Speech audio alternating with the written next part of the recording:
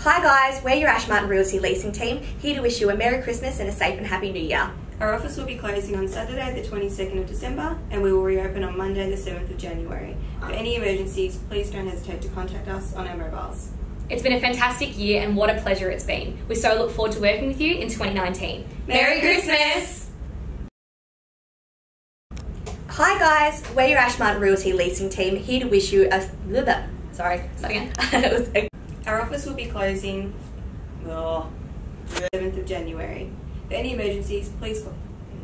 You're doing so good too. I know my voice cracked. Did you hear that? Yeah. Merry Christmas! Merry Christmas!